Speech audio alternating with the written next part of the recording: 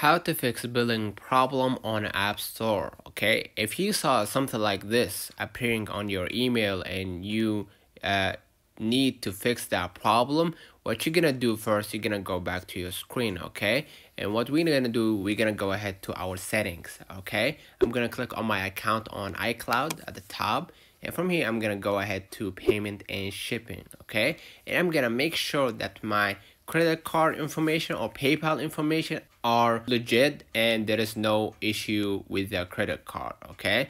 And if you have or if you want to edit or add the new payment method go ahead right here and add the payment method the new one and you can just go ahead and add your uh, mobile card okay? The second way that you can actually fix that problem by clicking done right here or go back sorry.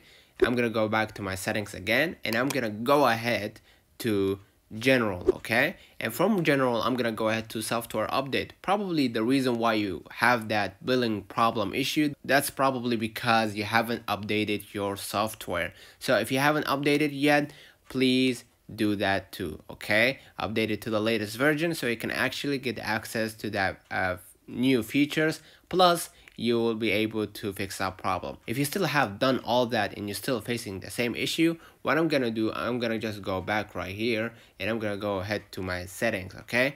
Go ahead to general again. I'm gonna scroll a little bit down and I'm gonna go ahead into transfer or reset iPhone, okay? Now, what I'm gonna do, I'm gonna go ahead into resetting, okay? And I'm gonna go ahead into resetting all the settings on my iPhone and I'm gonna add my you know uh, passcode and everything and the iPhone will be shut down and you're gonna see the logo and it's gonna be resetting all the settings and that problem should be fixed okay? Let me know in the comments if this video helped you. Don't forget to like and subscribe. Turn on the notification bell to receive every video we upload. Thank you for watching. See you in the next one